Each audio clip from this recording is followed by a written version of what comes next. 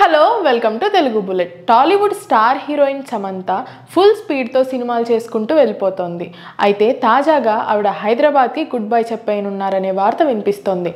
ఇంతకీ అసలు వివరాలేంటో తెలుసుకుందాం. టాలీవుడ్ స్టార్ నటి సమంత గత ఏడాది యశోద సినిమాతో మెప్పించారు.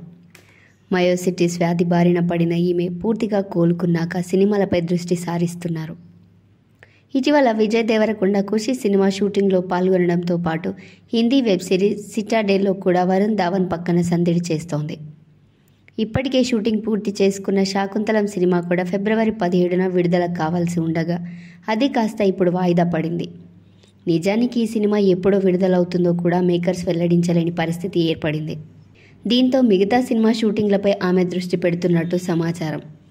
తాజాగా వరుణ్ ధావన్తో కలిసి సీటాడెల్ షూటింగ్ నిమిత్తం ముంబైలో ఉంటున్నట్టు వార్తలు వినిపిస్తున్నాయి.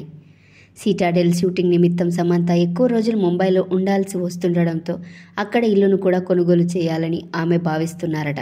ఈ నేపథ్యంలోనే పదిహేను కోట్ల విలువైన విలాసవంతమైన ఫ్లాట్ని కూడా చూశారని దాన్ని కొనుగోలు చేయాలనే ఆలోచనలో ఉన్నట్టు సమాచారం. గతంలో కూడా ఆమెపై ఇలాంటి వార్తలు బాగా వైరల్ అయ్యాయి.